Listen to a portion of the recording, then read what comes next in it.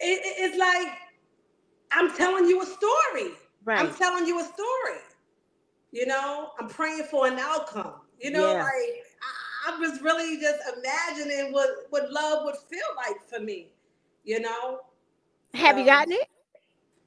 uh Are you in a relationship? No. I don't want to jack you up or anything like that. I no, don't, uh, I don't. I don't want him to be like, what?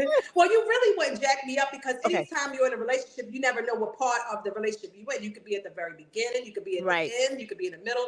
So at the end of the day, I would say that, um, uh, do I do I feel like I got the love that I would want?